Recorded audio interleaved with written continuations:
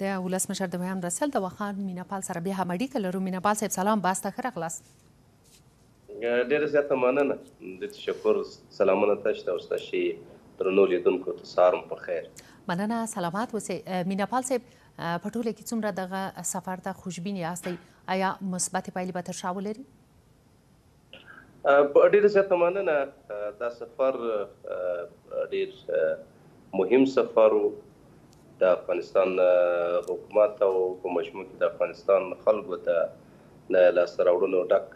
سفر و. د افغانستان او امریکا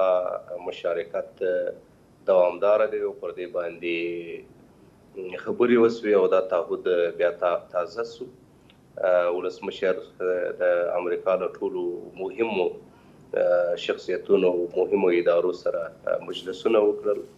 اخیري مجلس یې د امریکا د متحده ایالاتو د جمهور رئیس سره و، تاشي د هغوی تعهد هم واورېدی او د افغانستان د حکومت ژمنې هم واورېدلې. تر ټولو مهمه دا ده چې د افغانستان امنیتي او دفاعي قواوې چې د امریکا او د ناټو تر ټولو مهم شریک دی، له هغوی سره د امریکا د متحده ایالاتو همکاري دوامداره ده. د درې اعشاریه درې میلیارده ډالرو کومک چې هغه به کانګرس ته ځي، په دې برخه کې دواړه هم سپینه ماڼۍ او هم کانګرس د افغانستان حکومت ته ژمنه ورکړې ده چې دا چاره به چټکه کوي ترڅو د افغانستان حکومت وکولای شي د دغو پیسو په مرسته باندې خپل امنیتي او دفاعي قواوې له هر اړخه تجهیز کړي. مینه پال صاحب، هغه څه چې له دغه سفر وروسته د یوې لاسته راوړنې په توګه یادولی شو، څه کېدلی شي ستاسې په نظر؟ همدا ده چې موږ د تروریزم د مشترک تهدید په وړاندې باندې مبارزه روانه ساتو. د سولې په پروسه کې د امریکا حکومت او نړیواله ټولنه د افغانستان د اسلامي جمهوریت او د افغانستان د خلکو تر شا ولاړه ده. طالب او نورې ترهګرې ډلې چې د دوحې تر نیمګړې توافقنامې راوروسته جګړې ته شدت ورکړی دی، پر دې باندې د افغانستان حکومت او امریکا موافق دي دا البته د امریکا نوی حکومت چې دا توافق نامه په ځینو برخو کې نقد شوې او نیمګړې ده پر دې باندې به له سره غور کیږي وضعیت ته به کتل کیږي چې که چیرته طالب له تاوتریخوالي لاس اخلي طالب تاوتریخوالی راکموي د مذاکراتو لړۍ به ورسره چټکه کیږي که چیرته طالب جګړه غوره کړي په دې معنا چې د افغانستان د حکومت تر شا د امریکا د حکومت او په مجموع کې د ناټو حمایت دی او طالب به ځپي. یوه مسله دا ده مینه پال صاحب چې څنګه کیدلی شي چې که چیرې امریکا واقعا صادقانه همکاري کوي ولې افغانستان په داسې یو شرایطو کې یوازې پریښود ډګر یې د مخالفینو جګړو ته همواره کړ او نیوکې دا دي چې ګویا پالیسي جوړونکي د امریکا په دغه ناسته کې یا په دغه سفر کې چې ښاغلي غني امریکا ته درلود او ښاغلی عبدالله له دوی سره نه و، له هغې جملې د بهرنیو چارو وزیر ته نیوکې کېږي. ښاغلي خلیلزاد ته چې ګویا د سولې دغه پروسه یې مخته وړله، په دغه ناسته کې له ښاغلي غني سره یې نه دي لیده کاته کړي. په مجموع کې دا سفر او دا ملاقات د دې مانا ورکوي چې د امریکا مشارکت د افغانستان د اسلامي جمهوریت سره دوامداره دی. دوهم په مجموع کې د ملي امنیت سلاکار یې، د وزیر دفاع یې په خپله باندې ولسمشر بایډن، کانګریس او د دوی ولسي جرګه او د هغې مشره دا هغه څه دي چې په امریکا کې تصمیم نیونکي مراجع دي او اغېزمنتوب یې زیات دی، نو کله چې د ملي امنیت د شورا له سلاکار سره ویني، کله چې په خپله باندې له ولسمشر سره ویني، بایډن سره ویني، نو په دې مانا چې دغه ناسته مهمه ده او دغه اشخاص د امریکا هغه تصمیم نیونکي اشخاص دي. مینه پال صیب اوس دغه نوی څپرکی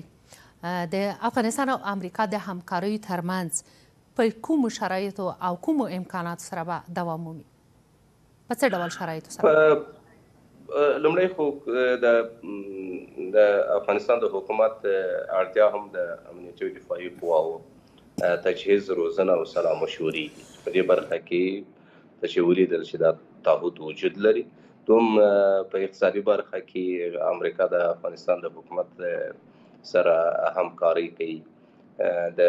تروریزم سره د مبارزې په برخه کې موږ اوږدمهاله تر هغه وخته پورې چې د تروریزم تابع دي زموږ مبارزه روانه ده تر ټولو مهمه دا ده چې امریکا او د افغانستان حکومت د تېرو شلو کلونو لاسته راوړنې چې په هغه کې جمهوریت دی، ملي بنسټونه دي، د بیان ازادي ده، بشري حقونه دي، د ښځو حقونه دي نه پر دې باندې ولاړ دي او دا هېڅ ډول قابل معامله نه ګڼي. د سولې په پروسه کې د امریکا حکومت، د امریکا کانګرس، د افغانستان د اسلامي جمهوریت دریځ پیاوړی کړي او په دې برخه کې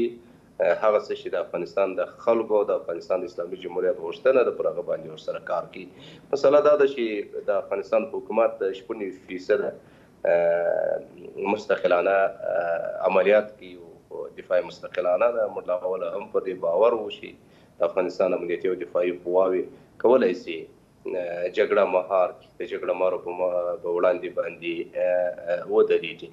ولی هغه څه چې زموږ اړتیا و هغه دا ده چې د افغانستان د هوایي ځواک پیاوړتیا ده او د ناټو په مجموع کې د امریکا د امنیتي او دفاعي قواو سره اوږدمهاله مشارکت دی یعنی څنګه کېدلی شي چې که د دوی فزیکي حضور دلته نه وي دوی به وکولی شي هسې چې مثلا ژمنی کوی تعهدات کوی عمل به پری باندی بوی وکړی امریکا البته هغه دوه ګونی تناقض ته په کتو سره چې خپل البته د نن د امریکا په سنا کې هم موجود دی د افغانستان په اړه لمړی خو موږ د یو ستراتیژیک او امنیتي تړون په چوکاټ کې روابط لرو دوم دا دی چې دا روابط ستراتیژیک دي او تعریف شوي دي موږ خپلې ګټې لرو او امریکا خپلې ګټې لري او دا ګټې تعریف شوې دي او دا ګټې تړلې دي. دا به تر هغو پورې چې تر څو پورې د افغانستان حکومت او د امریکا حکومت به پر دې باندې تصمیم نشي چې دوام ورکړي او که قطعي ولې اوس دا دوام لري ځکه تروریزم یوازې د افغانستان خلکو ته او د افغانستان حکومت ته تهدید نه دی، تروریزم په مجموع کې امریکا، ناټو او سیمې ته تهدید دی. نو دې تهدید ته په کتو سره امریکا او ناټو مجبوره ده چې د افغانستان د امنیتي او دفاعي قواوو تر شا ودري. مینه پال صاحب یوه مسله دا ده چې که څه حنیف اتمر او یو شمېر نورو چارواکو ته چې که څه هم د دوی د کورونا ټست منفي وو خو په دغه ناسته کې دوی ته د ګډون اجازه نه ده ورکړل شوې یوه دا مسله او بله دا مسله چې هسې هرکلی چې باید له دوی څخه شوی وو ویل کېږي چې له دوی څخه هسې هرکلی هم نه دی شوی نیوکې د ډېری سیاسیونو دا دي چې ګویا دوی ته په هغه سترګه ونه کتل شو چې دوی لوړپوړي چارواکي د افغانستان هلته تللي او د دوی په بلنه باندې په دې اړه څه نظر لري ګورې که په که په سپینه ماڼۍ کې د ولسمشر هرکلیو ښه راغلاست وګورئ که په کانګرس کې د ولسمشر هرکلیو ښه راغلاست وګورئ که په پنټاګان کې وګورئ په دغه اوسني د کرونا په وضعیت کې په هیڅ صورت باندې له نورو هیوادونو سره د پرتلې وړ نه دی یعنې لوړه